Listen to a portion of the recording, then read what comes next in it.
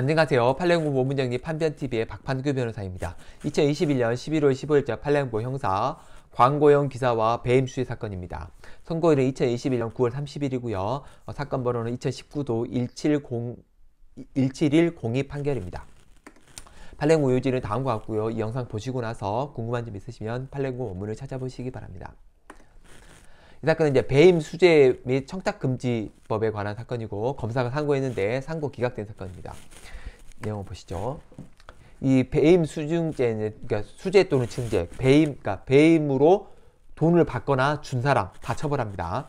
그래서 타인의 사물을 처리하는 자가 그 임무, 임무에 관해서 부정한 청탁을 받고 재물 또는 재산적 이득을 취득하거나 내가 벗거나 제3자에게 취득할 때 이때 처벌하게 됩니다. 사실관이 이렇습니다. 피고인들은 신문사 기자였어요. 신문사 기자인데 홍보성 기사를 작성해달라는 부탁을 받고 기사를 작성하고 그 자, 기사 작성 대금은 신문사가 가져갔습니다.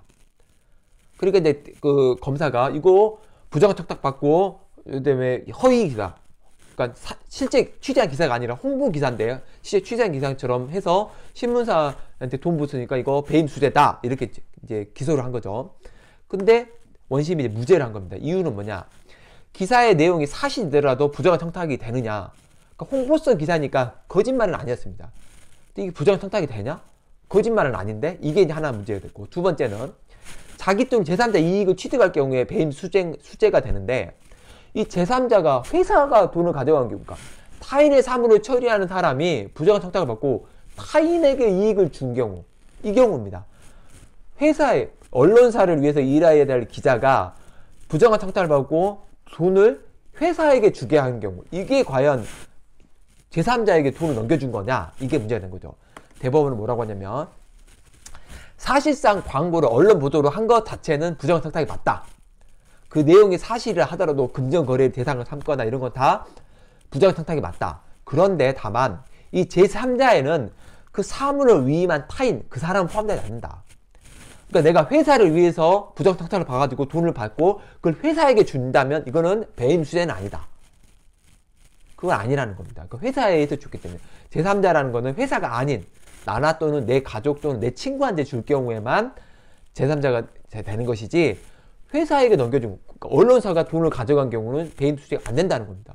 결과적으로 이 판례는 형사법령의 해석에 의해서 무죄가 판결가 됐는데 굉장히 이상하죠. 기자가 취재를 안 하고 홍보성 기사를 그대로 받아서 그리고 써주고 그걸 통해서 언론사가 돈을 번다. 이런 거를 그러면 형사적으로 문제가 없냐? 현재로서는 처벌할 수 없다라는 게 대법원 판례의 내용이고 그렇다면 이거는 어, 금융사 직원을 처벌하듯이 따로 처벌법규를 만들어야 됩니다. 이게 이제 언론 개혁 법안 중에 하나 필요할 건데 어쨌든 그러니까 그 대출이나 이런 걸 위해서 그 돈을 받거나 뭐 회사에게 뭐 그 따로 받거나 이런 것들은 다 처벌할 수 있거든요. 그래서 기사 작성을 목적으로 돈을 받는 경우, 그걸 작성으로 뭐 광고를 다가 유치하는 경우 이런 거 다 처벌해야 해야 언론사가 정화가 되는데 이거는 뭐 언론사들이 반대할 수도 있겠죠. 어쨌든 현행 법상 이 판례에 의하면 언론사가 돈을 받아 챙긴 경우에는 처벌할 수 없다라는 게 대법원 이 판례의 내용입니다. 이상 마치겠습니다. 감사합니다.